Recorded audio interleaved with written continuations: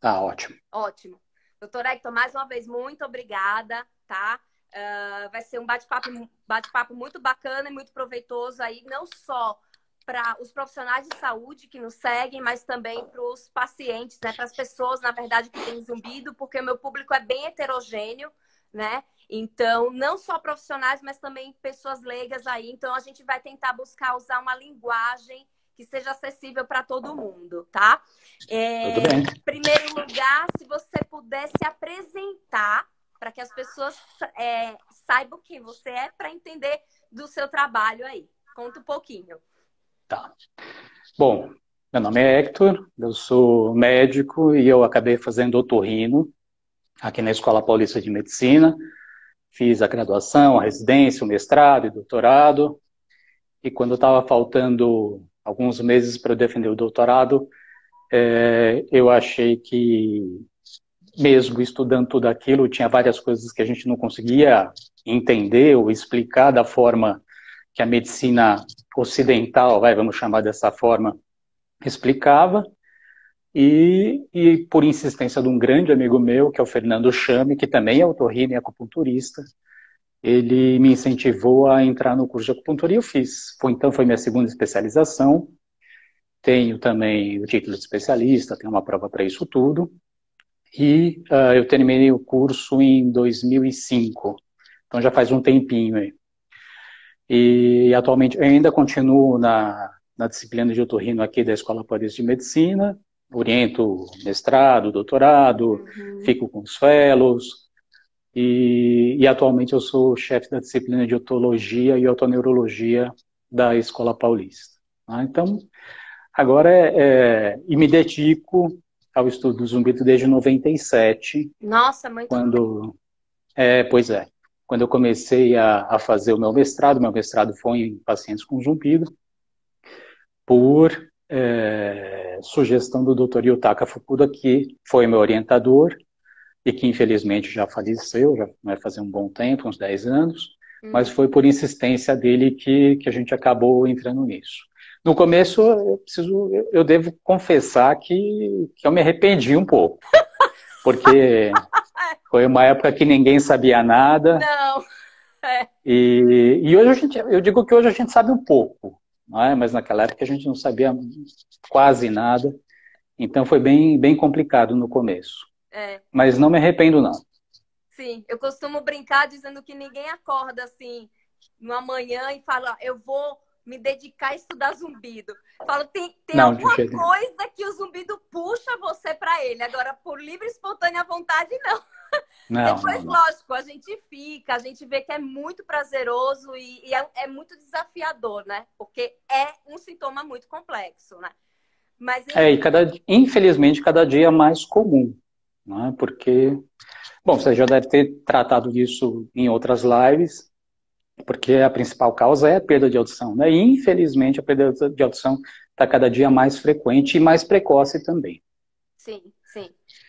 Doutor Hector, vou fazer a pergunta que eu sempre faço para todos os meus convidados, que é, eu lembro, eu lembro um pouco, não sei se você lembra do, de um programa na TV Cultura, que hum. era do falecido Abu Janra, que o nome Sim. do programa era Provocações. Provocações.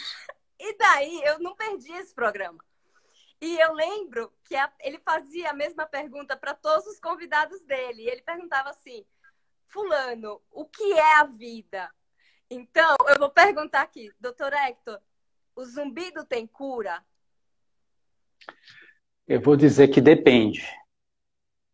Depende por uma série de, de questões. Né? Não existe uma única causa. Uhum. Uh, e muitas vezes não é uma única causa é, é, o fator mais importante naquele paciente. Então, por isso que é muito complicado, é muito complexo você tratar dos pacientes com zumbido, porque você precisa ser um detetive. Uhum. Né? Você tem que ter tempo, para conversar, para ouvir, para puxar algumas coisas da história do paciente, da vida dele, que muitas vezes parece. Né, o paciente fala que não, mas por que, que ele está perguntando disso se o meu problema é do ouvido, né? Uhum, exatamente. Mas então acho que por isso que, que isso é muito complexo. Então eu diria que depende. Né? Depende da causa, depende das causas hum. e depende é, de outros fatores que às vezes a gente não consegue identificar. Por mais que você se dedique e pesquise naquele paciente, às vezes você não é capaz, naquele momento, de identificar os fatores, né? É o que em medicina a gente chama de idiopático, né? quando você não, tem a, não sabe a causa. Na verdade, é, é, um mero é um mero problema científico dessa época. Né? Então, o que a gente chamava de idiopático antigamente, hoje em dia já várias coisas mudaram. Né? Uhum. Então, depende. Tá. Agora, antes da gente entrar mais na, no tema acupuntura, é, provavelmente, né, já que faz tanto tempo que você trabalha com zumbido, né, desde antes de, do ano de 2000, é, você já deve ter passado por alguma situação em que o paciente ele deve ter se curado do zumbido. Você pode contar um caso que você lembre é, um pouco assim resumidamente, se foi com medicamento, se foi com acupuntura, se foi com fisioterapia, se você poderia então, falar vou... um, um casozinho aí. Eu vou contar um caso que, que eu atendi na época que eu era residente ainda. E, e eu até vou contar uma historinha aqui, porque quando você é residente, você atende o paciente é, e depois vai discutir com alguém que é mais graduado que você, professor, um uhum. residente que é mais velho que você, um pós-graduando, enfim. E, e, eu lembro que eu atendi uma vez um paciente com zumbido, foi discutir com o professor Paulo Riscala, que eu, ele ainda trabalha, ainda opera, e, e, eu considero uma das, minha, uma das pessoas que me influenciou a fazer otologia, e eu considero ele um dos maiores cirurgiões de orelha média. Mas, enfim, de qualquer forma, eu aproveitei que ele estava lá, fui correndo, falei assim, professor, é isso, isso, isso, o paciente tem zumbido, isso, isso. O que, que eu faço? Ele pensou assim, dá para ele tal remédio. Ele falou o nome de um remédio que eu nunca tinha ouvido falar. Assim, ah, é? Como é que toma? Ah, toma desse jeito. Quanto tempo? Ah, toma não sei quantos meses, três meses, tá, tá bom. Mas, professor, isso melhora mesmo, né? Tem uma ação boa? Assim, olha, se tem uma ação boa, se funciona, eu não sei, mas pelo menos ele vai demorar três meses para voltar. Então, era a ideia que se tinha antigamente, né? Então, dá uma tapeada no paciente e pede para ele voltar daqui algum tempo de novo. Mas, é, dentre esses casos que eu atendi na residência, eu lembro de um senhor bem velhinho, que, que veio e que tinha todas as coisas que a gente considera hoje como fatores de, de mau prognóstico, entre aspas, né, para uhum. resposta a tratamento. Muito tempo de zumbido, idade, diabético, hipertenso, enfim, até um pouco deprimido. E daí eu lembro que eu passei uma medicação para ele, assim, mas certo que ele não ia melhorar. E ele voltou depois de dois ou três meses Falei assim, e aí, como é que o senhor está? Falei assim, não, estou ótimo, meu zumbido sumiu. E aquilo me deixou tão chocado na hora, porque não era uma coisa que eu estava esperando, né? mas, mas foi uma luz no fim do túnel. Quer dizer, na época, ainda que você é residente, que sabe muito pouco da especialidade, e ainda de um tema que naquela época ainda era muito tabu, é, foi uma, uma experiência muito interessante. Né? Que, é, depois disso, vários outros acabam aparecendo. Tem, tem casos anedóticos também, mas isso a gente deixa para depois. Sim, tá? Mas esse é o, é o, primeiro caso que eu me lembro de um paciente que, que se curou do zumbido, que ficou muito bem. Muito bom, muito bom. Eu sempre procuro tocar nessa tecla porque eu observo assim uma dicotomia muito grande, né? Tem pessoas que não acreditam, falam nunca vi um, ninguém ser curado do zumbido, ou simplesmente fala que não nunca ouviu falar e um outro grupo que acha que qualquer zumbido pode ser curado, né? Eu noto muito essa dicotomia aí, e por isso que eu busco sempre conversar sobre isso para mostrar que o zumbido é um sintoma, não é uma doença, e como qualquer sintoma, vai ter casos de cura, vai ter casos de melhora, e vai ter aqueles casos poucos que eu noto no dia a dia que não vai melhorar com nada. Isso é o dia a dia de um sintoma, né? Doutor Hector, agora a gente vai entrar para o mundo aí da acupuntura? Bom, como eu falei, como a gente tem um grupo aqui heterogêneo, tem pessoas da uhum. profissionais de saúde e tem também leigos no assunto. Eu gostaria que o senhor me falasse uh, como é que a, a acupuntura funciona E qual seria a diferença da acupuntura chinesa, japonesa e coreana? Tem alguma diferença? Então, a acupuntura, ela faz parte do arsenal terapêutico da chamada medicina tradicional chinesa. Né? Os chineses estão muito famosos agora nessa época, mas é, eles é uma civilização que é muito antiga e que eles desenvolveram todo esse conhecimento há 2.500, 3.000 anos. Né? E naquela época não tinha microscópio, não tinha nenhum conhecimento da, do que a gente chama hoje de microbiologia, né? muito pouco da fisiologia e anatomia, mas eles conseguiram desenvolver um conjunto de conhecimentos baseado na observação. Eles viam o que, que acontecia na natureza, viam que aquilo se repetia periodicamente, é, e tinha alguns padrões né, de, de coisas que aconteciam ao longo do tempo. E começaram a ver que a nossa saúde, a saúde do homem, que a gente não deixa de fazer parte da natureza, né? não deixa de ser um dos elementos da natureza, também seguia determinados padrões de adoecimento e que e eles começaram a colecionar essas coisas todas. Né? Então, vou dar um exemplo com as coisas que a gente conhece hoje. Né? Então, se aparecer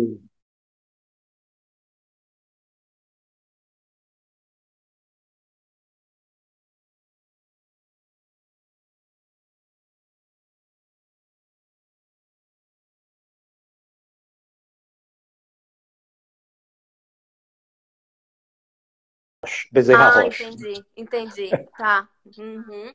Agora, então essa que é a diferença. Certo.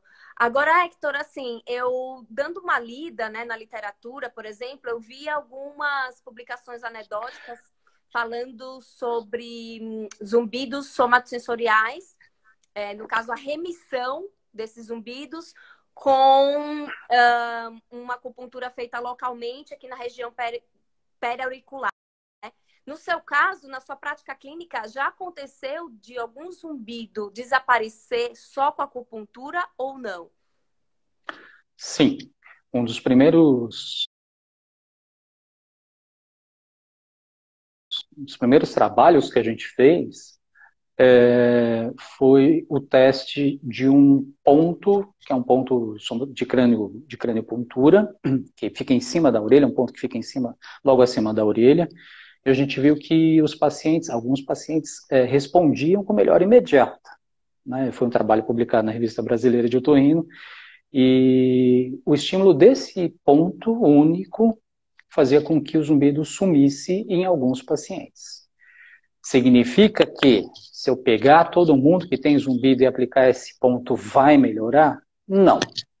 Da mesma forma que, se você tiver dor de cabeça e tomar paracetamol, tem gente que vai melhorar e tem gente que não vai sentir melhora nenhuma.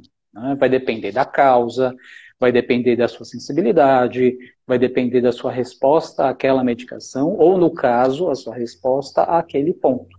Né? Uhum. A gente não questiona a acupuntura, ou a gente não questiona a, o efeito do paracetamol, mas vai questionar o efeito da acupuntura ou do paracetamol, vamos fazer essa analogia, para aquele paciente especificamente. Ah, então, é, eu acho que esse que é o grande, é o grande detalhe, né? Não só da acupuntura, mas de, de qualquer tratamento. Né? Uhum. Né? Agora, tem um, um, uma característica específica, um tipo de zumbido específico que responde melhor à acupuntura, o que você seleciona para fazer o tratamento? Tipo, ah, quando é um zumbido somatosensorial ou que, quando é um zumbido unilateral e que não tem perda de audição. Tem algum grupo assim específico?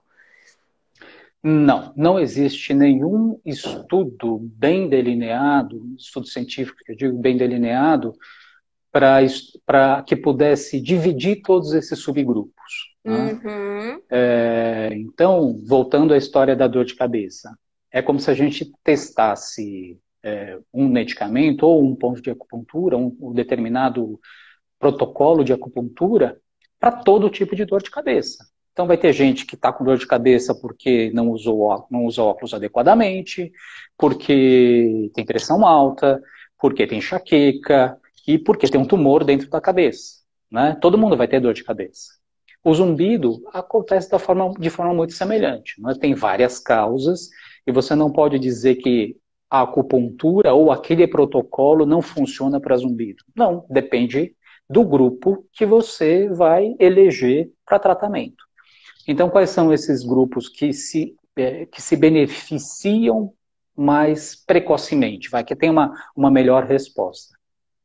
Geralmente, é, são pacientes mais jovens e que têm um zumbido do tipo apito, um zumbido de alta frequência, que a gente fala. Né? Então, é, diferente do zumbido do tipo chiado, é, porque para a medicina chinesa são, são causas diferentes.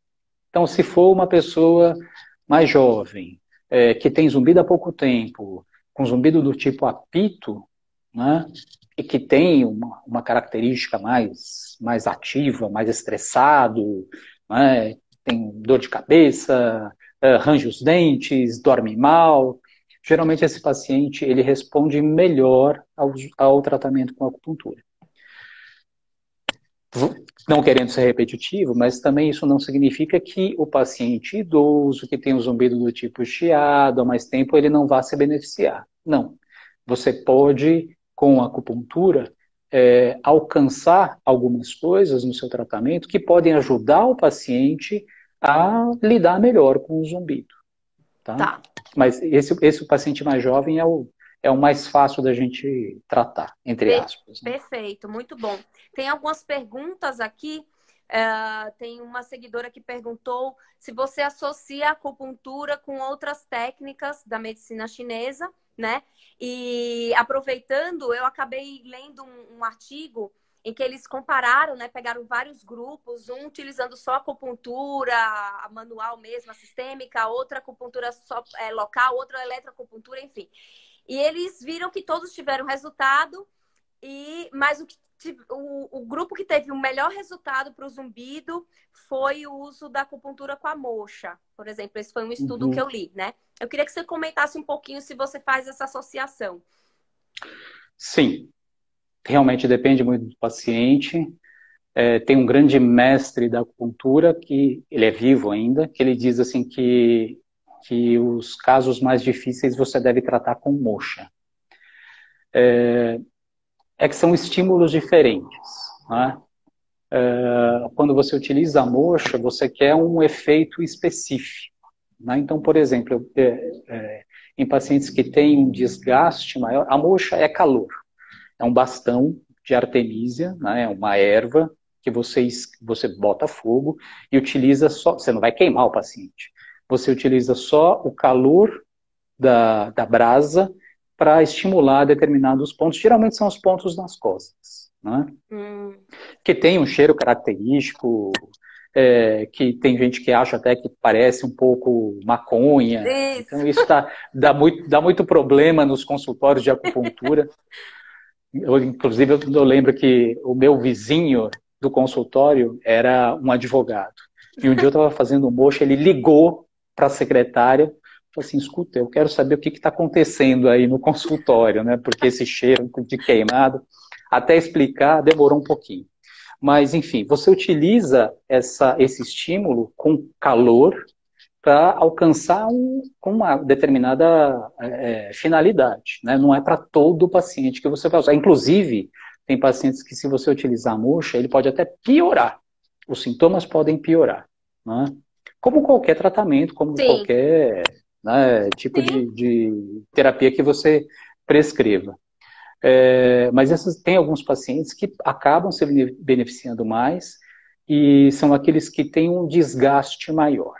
Então, por exemplo, vamos, você já deve ter visto pacientes que vêm que são muito estressados e tem pacientes que chegam e falam, falam assim, olha, eu estou trabalhando muito, estou muito cansado, estou muito desgastado, e eu comecei, comecei a ter zumbido por causa, depois dessa época aí, estou trabalhando, estou dormindo mal. Então, nesses pacientes que têm o que a gente chama de deficiência de energia, que a energia está baixa, esses acabam é, respondendo bem ao uso de mocho. Mas não é para todo mundo. Tá. tá. Tem uh, dois seguidores aqui que fizeram a mesma pergunta que se o uso hum. de amplificadores, né, aparelho auditivo, junto com a acupuntura, se pode ter algum benefício. Pode.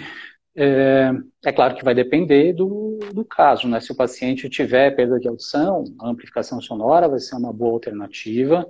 Se ele não tiver perda auditiva, uso de gerador de som também pode ajudar, mas são, são objetivos uh, diferentes, uhum. né?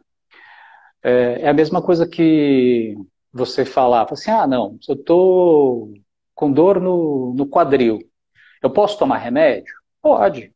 Ah, eu posso usar uma muleta? Pode. Posso fazer fisioterapia? Pode. Quanto mais coisas você é, associar, maior a chance de você melhorar mais rápido, né? ter uma recuperação mais rápida também. E o zumbido não é diferente. Né? Se você se houver indicação, indicação. para uso de algum outro tratamento concomitante, não há problema nenhum. Aliás, a gente é, não, não recomenda a troca da acupuntura, a, a, troca de um, de um tratamento que você já esteja fazendo pela acupuntura simplesmente. Uhum. Né? Assim, não, para todos os remédios e a gente vai, vai começar só com a acupuntura. Não é assim, não. Tá? A gente gosta de associar os tratamentos, sim. Tá. É, outra pergunta. Foram duas também do, da mesma forma. Qual Zangfu devemos tratar no zumbido? Nossa, essa foi, foi no alvo, hein? Então, para quem não conhece, Zangfu é o sistema de órgãos e vísceras da medicina chinesa. Né? Então, existe lá, só, um, só para o pessoal entender um pouquinho, né? É, você vai fazer o diagnóstico daquele paciente e vai dizer, assim, olha, o seu problema é nesse órgão, nessa víscera, que são as responsáveis pelas funções que a gente tem no corpo. Então, uh, os dois órgãos mais acometidos nos pacientes com zumbido são rim e o fígado. Uhum. O rim, porque o rim ele é, ele é a bateria do nosso corpo. Né? É ele que concentra toda a energia. E o rim é o responsável pela audição. Né?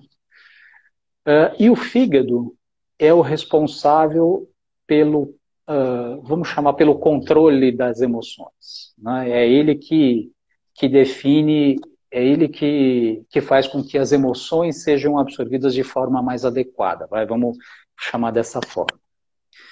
É... Como o rim é a bateria do nosso corpo, quando você tem um desgaste muito grande, seja ele físico, mental, uh, ou intelectual mesmo, ou então um desgaste sexual, o rim vai ser é, o órgão mais comprometido. E aí você vai ter os sintomas relacionados à audição. E o fígado é aquele paciente que tem o zumbido em apito. É aquele jovem que tem dor de cabeça, que, tem, que é muito nervoso, que é estressado, é, que toma muito café, né? e que é muito cobrado no seu trabalho, precisa apresentar resultados. Então, esse é o paciente que provavelmente tem o fígado como o órgão responsável pelo seu zumbido. Então, respondendo à pergunta, depende, mas os tipos básicos são esses dois: o Ótimo. rim e o fígado. Uhum, muito bom. Eu li um artigo também, doutor Hector, falando. Eles, eles realizaram acupuntura nessa região aqui próxima da orelha e eles compararam a, a, agulha, a introdução da agulha, digamos assim, um pouco mais profunda e aquela um pouco mais superficial. E nesse estudo especificamente, eles viram que a, a, o grupo onde utilizou a agulha um pouco mais profunda tiveram um resultado melhor em relação ao, ao, ao escala visual analógica, ao THI, por exemplo, que é um questionário que avalia a gravidade do zumbido. Que, que você tem a dizer em relação a isso, a esse nível de profundidade de, de colocar essa agulha e se existe essa diferença nos resultados? Então, como você vai estimular determinado ponto, né? então, vamos supor que você tem um ponto de acupuntura e você quer estimular aquele ponto. É, o estímulo vai depender, não basta você simplesmente encostar ali e tudo bem, estimulou. Né? Tem que ser um estímulo mais, um estímulo padrão. Então, existe é, o local certo, existe a profundidade correta daquele ponto para você estimular as terminações nervosas que você quer trabalhar mesmo, e existe o tipo uhum. de estímulo. Você pode estimular ou você pode sedar, enfim, tem várias, várias coisas técnicas que, que não cabem agora. Mas é, uma das coisas que se faz para pesquisa em zumbido, por exemplo, em, em acupuntura, por exemplo, é você fazer a aplicação das agulhas, né, naquele grupo placebo, que você não quer é, testar mesmo o efeito do, da acupuntura, você fazer a aplicação mais superficial. Porque daí você não vai atingir os terminais nervosos que são responsáveis pela resposta do ponto de acupuntura. Né? Então, quando a gente fala de profundidade, é, pode ter relação com essa, o efeito que você quer, é, que você procura mesmo, e pode ter a ver com é, a força do estímulo, a intensidade do estímulo. Né? São coisas diferentes. Então, como eu não, não, li o trabalho, não dá para afirmar exatamente o que é que o autor quis dizer com isso. Mas é, uma das coisas que pode estar relacionada é, é o, a efetividade do estímulo e a intensidade do estímulo. Certo. Teve outro estudo também que mostraram é, que o grupo, por, por, exemplo, com síndrome de Menier, doença de Menier, né, eles utilizaram medicação e um grupo eles, eles complementaram com acupuntura. Você tem bons resultados, doutor Hector, com doença de Menier, no caso? Sim, existe sim. É, é claro que é o que eu falei, a acupuntura não vai substituir uhum. o tratamento convencional. Uhum. Então, a gente tem medicações hoje da medicina ocidental, vai, vamos chamar dessa forma, que atuam muito bem na doença de Meniere.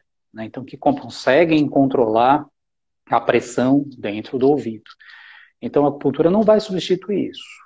E também não vai substituir os cuidados que o paciente deve ter. Né? Então, o paciente diabético, ele precisa tomar cuidado com a sua dieta. O paciente hipertenso não pode comer sal, não pode fazer uma série de coisas. É, todos os pacientes são encorajados a fazer atividade física. Então, a acupuntura não vai substituir de forma nenhuma é, é, essas outras recomendações. Mas nos pacientes com MNR, você consegue melhorar a flutuação da audição. Né? Essas crises que você tem de piora, de aumento é, da, da intensidade do zumbido, e que muitas vezes está relacionada com é, sintomas do equilíbrio mesmo, o paciente falar, ah, tive uma crise, é, tive tontura, passei mal, fiquei dois dias é, né, de cama. Então, são coisas que, que podem ajudar o paciente a, a se recuperar mais rápido e ter sintomas mais leves. Né? Você espaça mais as crises. É, e fora que a gente vê também uma relação da, da doença de Menier muito com o estado emocional também, né?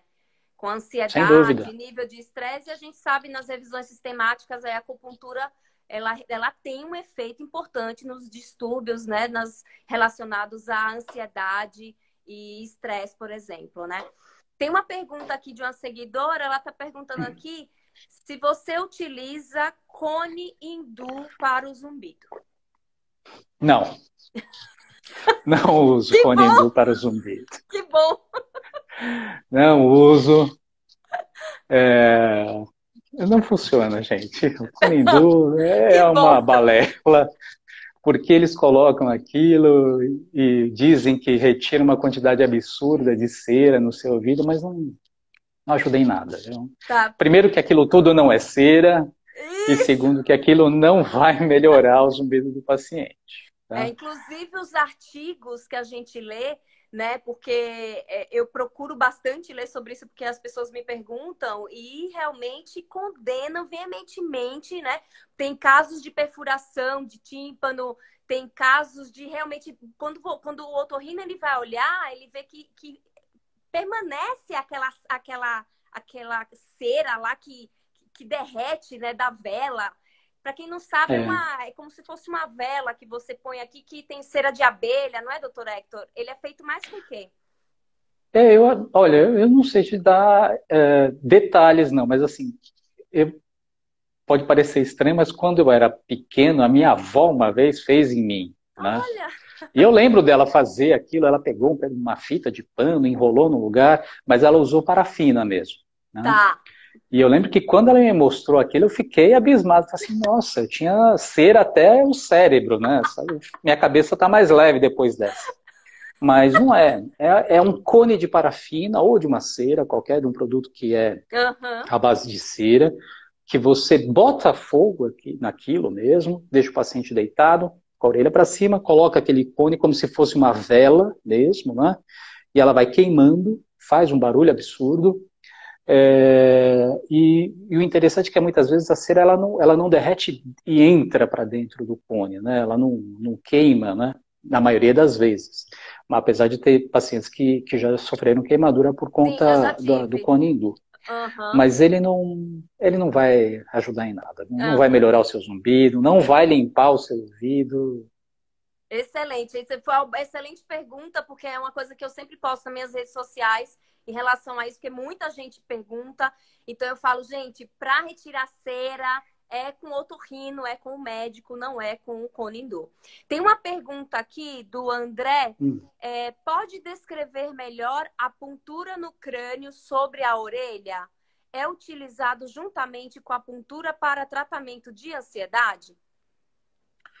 Não é. Esse ponto que eu falei, ele não é um ponto na orelha. É um ponto na região lateral do couro cabeludo aqui da cabeça, no couro cabeludo, que fica mais ou menos dois centímetros e meio da ponta da orelha. Uhum. Né? É um ponto que é bem, bem descrito. É diferente da acupuntura que você tem, a, a, a acupuntura auricular, a auriculoterapia, que você estimula alguns pontos da orelha é, esperando determinado, determinada resposta. Né? Tá. Aí são coisas diferentes. Diferentes, tá. Uma outra pergunta de um colega, ele quer saber se você usa mais pontos locais ou se pontos é, acupuntura mais sistêmica? As duas coisas. Tá. Eu até associo a, a acupuntura tradicional chinesa com uma técnica japonesa de craniopuntura, dependendo do paciente. Né? Então, depende muito. Né? E não, tem, não tem receita de bolo. Tá. Ai, é que nem fisioterapia, né? Fala assim, ah, o que, que você faz para dor nas costas? Ah, depende do paciente, né? Se você vai esfriar, vai esquentar, são coisas completamente diferentes, né? Diferentes, exatamente. Ainda mais se a gente for dentro da prática baseada em evidência, que um dos, dos tripés é, tem muito a ver com o desejo do paciente, né? Então, tem pacientes que não toleram um agulhamento seco. Então, eu não vou fazer agulhamento seco nele, vou fazer algo também que o agrade para criar uma aliança terapêutica ali e ter melhores resultados. Tem uma pergunta aqui: uh, se você ministra ou indica algum curso prático de acupuntura para zumbido? Não, não existe. Não ministro, não existe um curso é, único e exclusivamente uhum. para zumbido. Sim, eu imaginei ah, isso mesmo. Isso não existe. Somente, outra pergunta, somente a auriculoterapia pode ter bons resultados no zumbido? Depende. Pode sim, dependendo do caso. Existem alguns trabalhos com auriculoterapia com bons resultados, mas depende muito da história do paciente, né? Então, é isso que eu falo de novo. Se você pegar um monte de paciente jovem, é, com pouco tempo de história, e que tem um perfil psicológico mais tranquilo, esses vão responder mais rápido e vão responder melhor, né? E o contrário também é verdadeiro. Mas se você pegar pacientes que têm traços de personalidades mais complicados, né, com tendência à ansiedade, depressão, é, esses vão ser mais, mais difíceis de tratar, entre aspas. Não, são, não é que seja impossível. Tá? Hum. Então, a auriculoterapia, existem trabalhos, sim, mostrando que pode, ser, pode ajudar. Só a auriculoterapia pode ajudar também. Tá.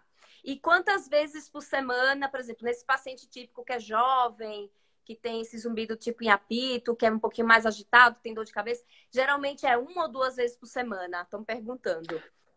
Geralmente, uma vez por semana é suficiente. Né? Se o paciente tiver muito mal, ou se ele quiser uma resposta mais rápida, você pode até propor duas sessões. Tem gente que faz até mais sessões por semana. Mas tá. geralmente uma semana é suficiente. Tá. E a partir de quantas semanas de sessões, por exemplo, já observa a melhora? Ou então você coloca assim um, um limite, por exemplo, até aqui eu fiz e, e foi o que deu para ser realizado? Tá. Eu vou dizer, na, baseado na minha prática e nas coisas que a gente lê dos trabalhos científicos. É, dependendo do protocolo de tratamento que você aplica, você não vai ter uma resposta rápida. Né? É muito diferente de dor, por exemplo. Né? Tem paciente que está com dor nas costas, vai fazer a pontura e sai sem dor na hora. Ah, o zumbido não é assim. Né? Geralmente a gente, para o paciente sentir alguma coisa mais que, que ele note de uma forma mais, mais evidente, ele pode demorar de quatro a cinco sessões. Tá? É claro que ele pode ter antes disso também. Se ele começar a responder em torno da quarta ou quinta sessão, aí a gente mantém as aplicações por 10 a 15 sessões, até completar 10 a 15 sessões. Né? Se ele não responder, pela minha prática clínica, até a quinta, quarta, quinta sessão, sexta sessão, é, provavelmente o paciente não, não vai ter uma boa resposta à acupuntura. Uhum, tá? uhum. Certo. Um, deixa eu ver outra pergunta aqui. Se no caso, é, o doutor Hector, porque às vezes tem profissionais que colocam as agulhas é, unilateralmente e às vezes coloca bilateralmente? Uh, isso também é esquema terapêutico. Né? É, nem sempre você usa a agulha do lado que você tem a queixa, né? hum. né? e nem sempre você precisa utilizar dos dois lados. Né? Tem, tem alguma, alguns pontos que você faz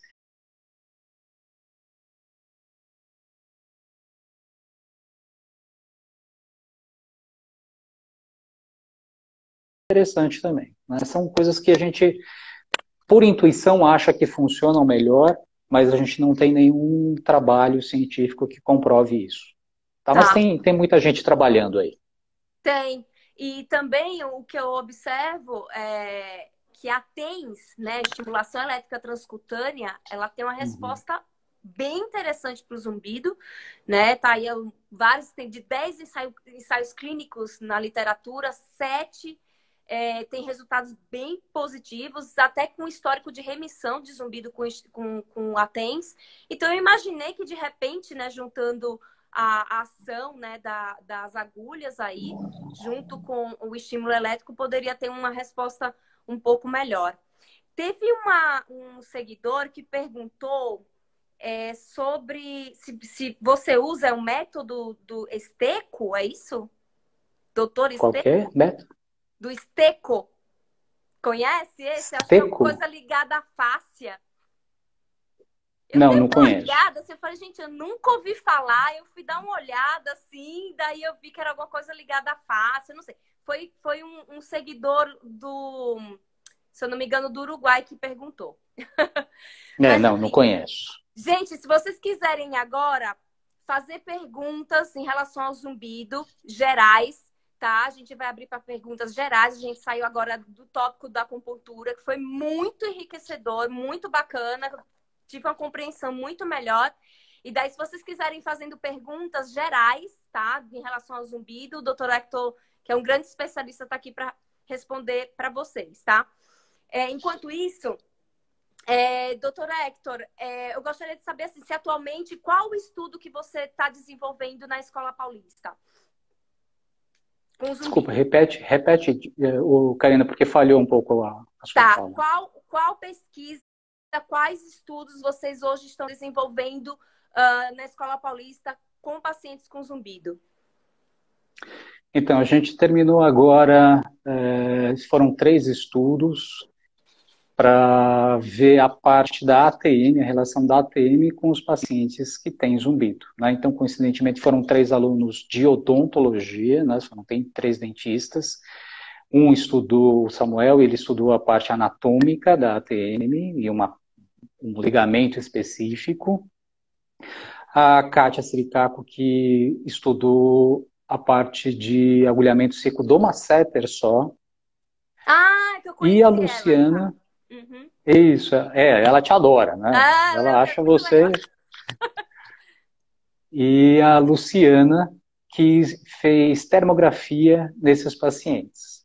Né? Então a gente viu se por conta da, da tensão relacionada aos, às bandas tensas e a redução da circulação local, se isso poderia ser identificado pela termografia e se isso tinha relação com o lado do zumbido também. Né? Uhum. Né? Então ela fez a termografia.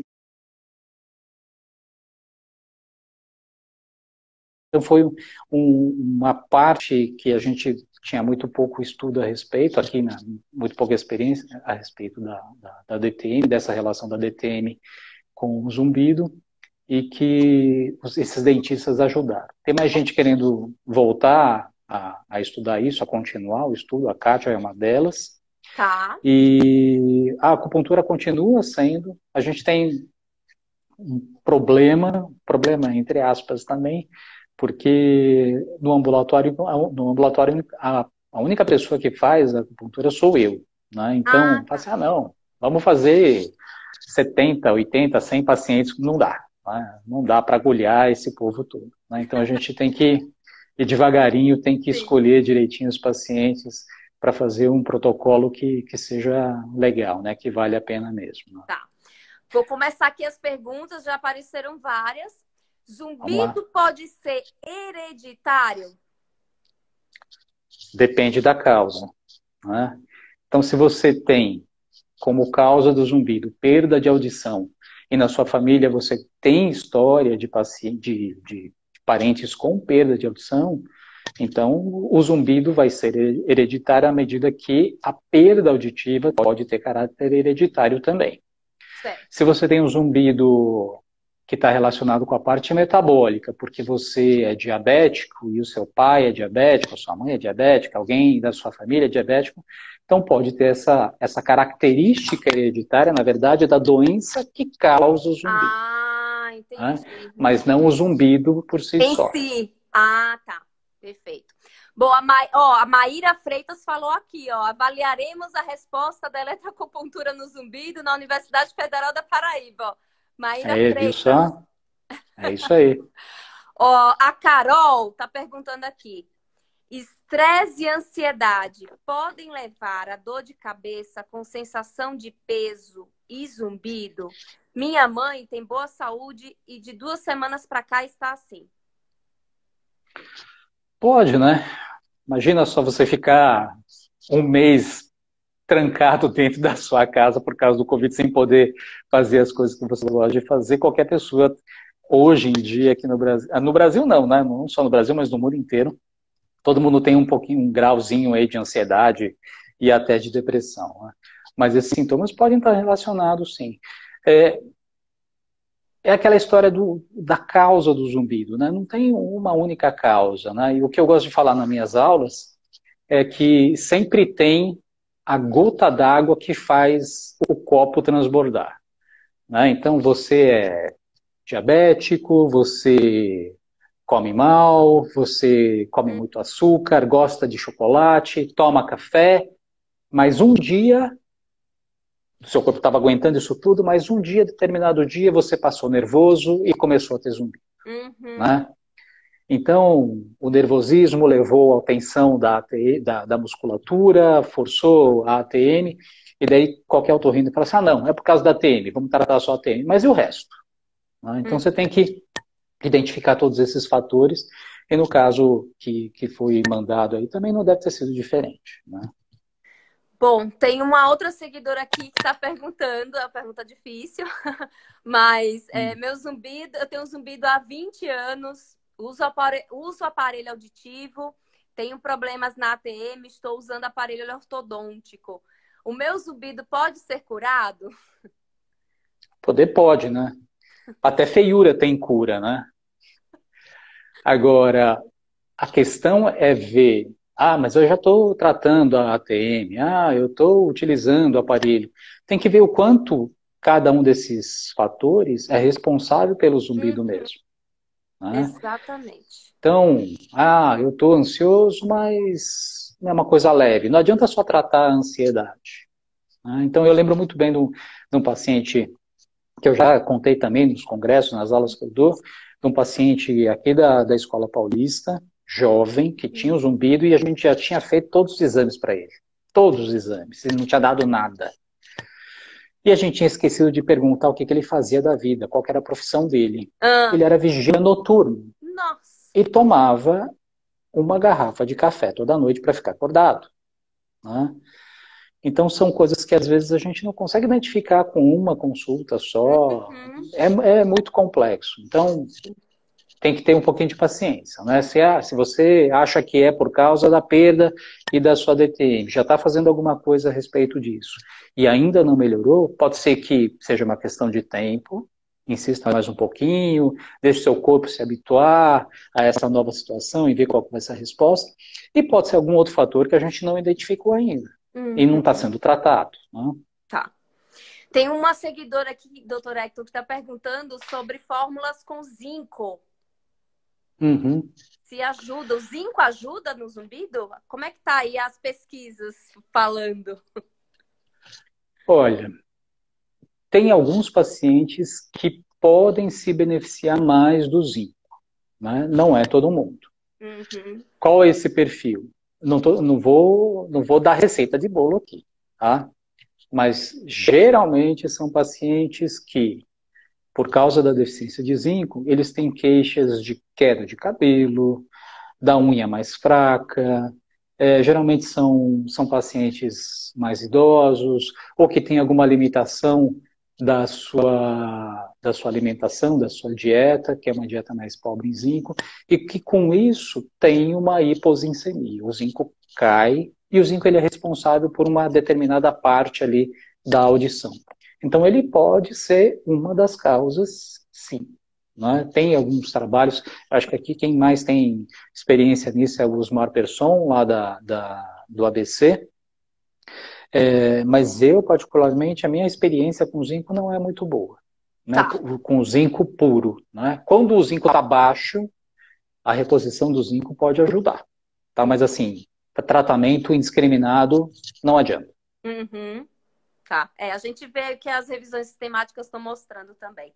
Tem uma outra pergunta que é assim: uh, por que, que eu acordo com o zumbido mais alto, mesmo sem ter bruxismo?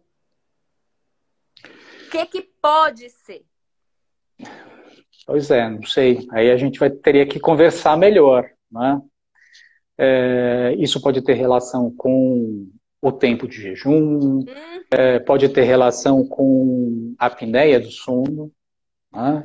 Mas o que a apneia tem a ver com o zumbido? Mas se você tiver apneia do sono, se você dormir mal, e se o oxigênio do seu sangue cai durante a noite, o seu corpo vai responder aquilo como um mecanismo estressor, um fator de estresse. Né? Tem alguma uhum. coisa querendo fazer mal para o nosso corpo. E isso está relacionado com a, a noite mal dormida. Então, se você dorme mal, se você tem apneia do sono, se você fica muito tempo em jejum, é, depende do que você come à noite, depende se você faz atividade física à noite, se você vai dormir com a cabeça muito cheia, você pode ter outras coisas associadas que fazem o seu zumbido estar tá mais alto de manhã. Sim, ainda mais eu como fisioterapeuta, às vezes, dependendo se você acorda com dor na cervical, de repente, o travesseiro que você usa, isso também interfere, não é, doutor Hector? A gente tem que ver tudo isso, a qualidade do sono, enfim. Gente, eu vou fazer a última pergunta, porque a gente já vai acabar, tá? A gente tem uma hora aqui, senão o Instagram faz assim, ó, ele corta a live, tá? É, deixa eu ver aqui. O pessoal tá elogiando muito essa live. Tem uma pergunta como saber a causa do zumbido? Usa o aparelho auditivo? Deixa eu ver aqui. Peraí. Uh, o zumbido pode ter relação com problemas na coluna? Pode. Né? É, é diferente do que a gente achava antigamente, né? Então, ah, se você tem um problema cervical, isso vai afetar a circulação que chega até a cóclea. Não, não é isso tudo, né? É, eu acho que a alteração, a, as as, os sintomas cervicais, as doenças, vamos chamar assim, de cervicais, elas podem ter uma importância grande, principalmente porque é, elas dão uma pista para a gente de outras coisas que podem estar acontecendo, né? principalmente da parte muscular. Uhum. Tá? Então, uma posição errada que, que leva a tensão muscular quando você está trabalhando, ou quando você dorme, né? um travesseiro inadequado, uma posição inadequada para dormir, é, ou então a tensão mesmo muscular por causa do bruxismo, ou da ansiedade, do estresse que você passa no dia a dia. Eu acho que isso tudo pode é, é, dar sintomas cervicais, mas não ser a causa principal do zumbido. Né? Que antigamente a gente falava assim, não, não, isso daí é problema da cervical, é a circulação, é o sangue que não entra direito, não sobe direito para a sua cabeça. Não é isso tudo, não. Né? Eu acho que o, o, a importância que eu dou hoje para as queixas cervicais, elas estão mais ligadas à parte muscular, à parte musculoesquelética e da ATM do que da parte circulatória mesmo. Sim, que é o que é, para quem não sabe, isso, se for por causa disso, seria um zumbido somatosensorial, e a gente vê todos aí os estudos neuroanatômicos, né? Mostrando essa relação. Gente, nosso tempo acabou, o Instagram está aqui me avisando. Doutor Hector, muito obrigada. Esclarecedor demais, Imagina. foi muito legal. E mais para frente eu vou te chamar de novo, hein? Que foi muito bom. Imagina, eu agradeço. Eu que agradeço o convite. Sempre que você quiser. Ninguém está trabalhando hoje em dia mesmo, né? Está todo mundo isolado. É, vamos procurar sarna para se coçar. Gente, muito obrigada tá pelas perguntas. E eu vou deixar essa live é, salva aí por 24 horas, tá bom? Quem não conseguir ver, eu vou deixar gravada. Muito obrigada. Um abraço. Tchau, tchau.